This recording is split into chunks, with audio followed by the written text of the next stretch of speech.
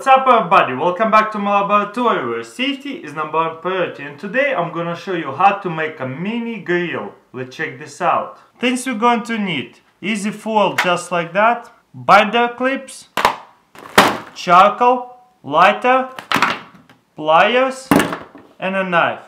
Let's get to it. First we're gonna need two of these easy foil. We're gonna put them like that together upside down, match it up and now we're gonna make holes with the knife.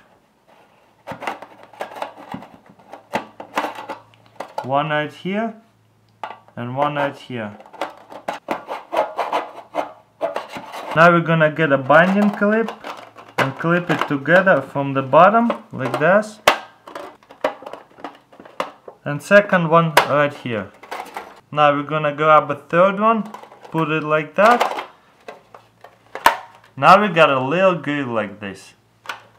Then you want to grab a coat hanger or a wire and just bend it up like that. So it will fit right here. So whenever you're gonna put your meat, hot dog or something, you can put it right here. Before you're gonna turn it on fire, make sure you make some oxygen coals. One on top, so the smoke can come out and one right here.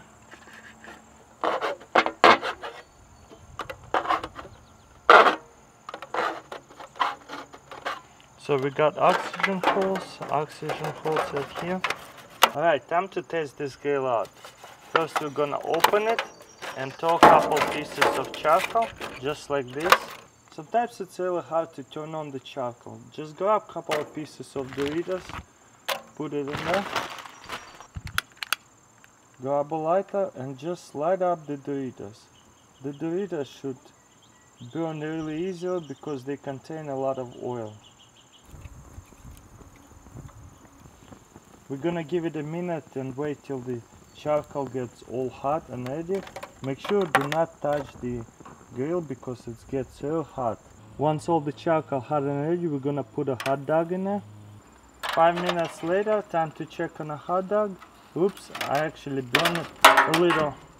So make sure you don't burn your hot dogs, but that looks perfect to me. Alright guys, that's pretty much it. So next time you wanna cook out anywhere you want, just bring your mini grill and cook out pretty much anywhere. In a park, at home, get your grill to go and you don't need a huge truck and huge grill with two people carrying it. Well, thank you for watching. Thumbs up this video. Let me know what you think comments below. And as always, see you next time.